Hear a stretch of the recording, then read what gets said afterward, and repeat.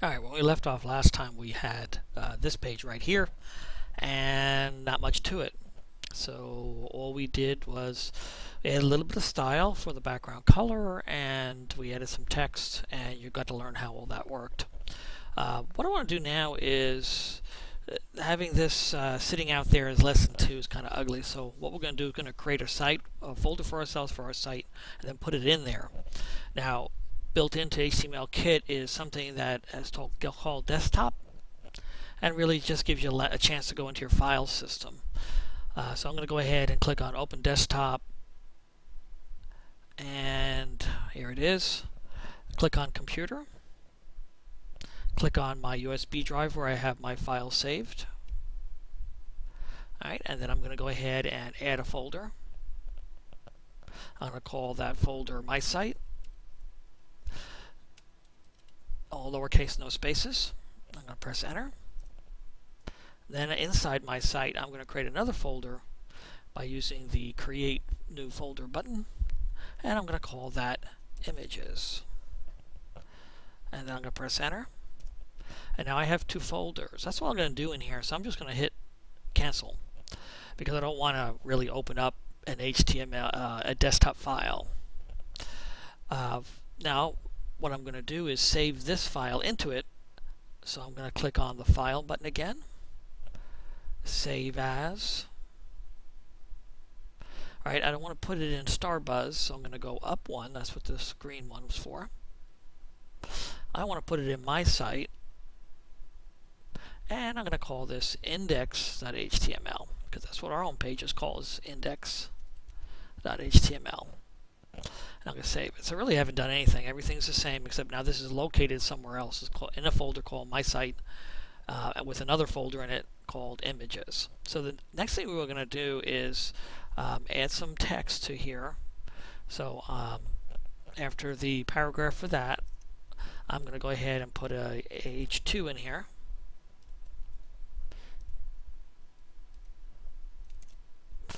Pictures. and then we're going to close it.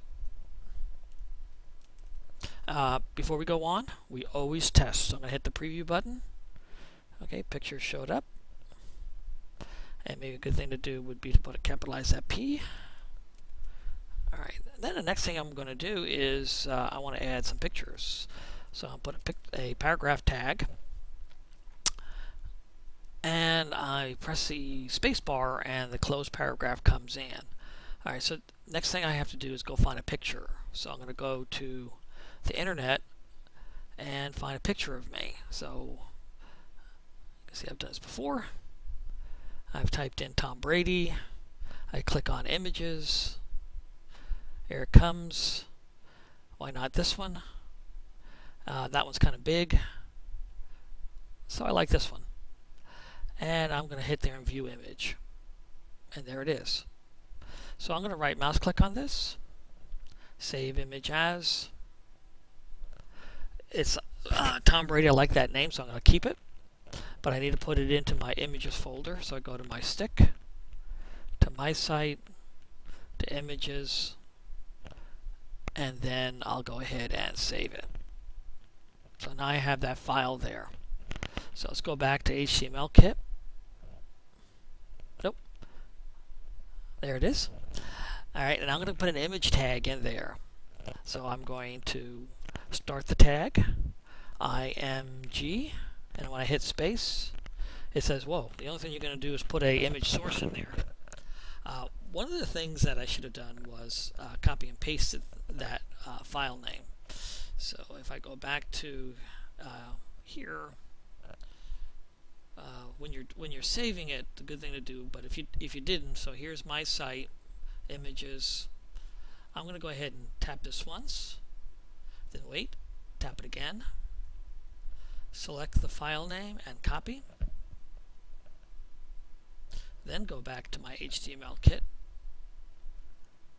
and then paste that in. And you might say, well, gee, why do that? The biggest problem you have is this thing not being exactly as it is in the file structure. So copy and pasting uh, what I tell my other classes, copy and paste is your friend. You want to go ahead and use them. and I'm going to put Tom Brady as the alternate text so that uh, people can mouse over and see what that's a picture of. Alright, let's go ahead and preview it and see how it looks. Ah! Doesn't work. Alright, see the X there?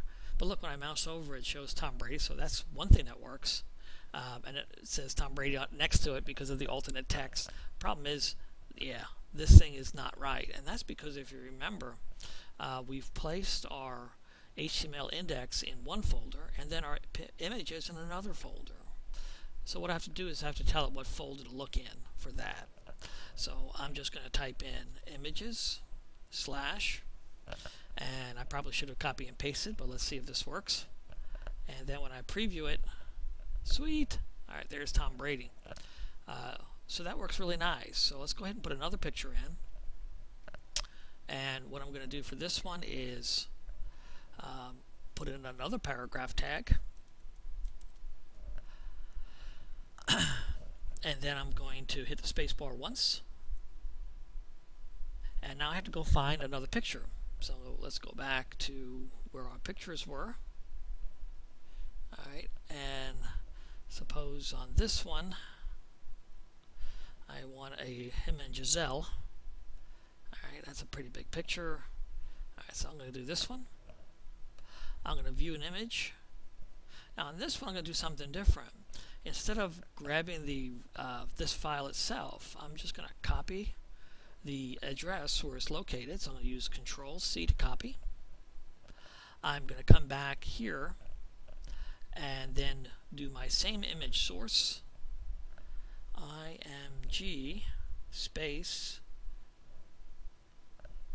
that interesting okay you notice it didn't pop up and that's because I didn't put the start symbol img space and now I'm going to paste in all that stuff. Alright, I'm going to go ahead now and put an alternate in there. Tom and wife. And so there it is. And then I'm going to preview it and there is Tom and his wife. And I go, whoa, that's a that's a pretty big um, that's a pretty big picture. So what I'm going to do is I'm going to change some of the attributes of that picture. I'm going to go to back to my editor and I'm going to change some of the attributes. So after the alt tag, I'm going to hit space and I'm going to say, well, the width is equal to, uh, and I'm going to make this, um, let's, let's do um, 300 for that, in quotes.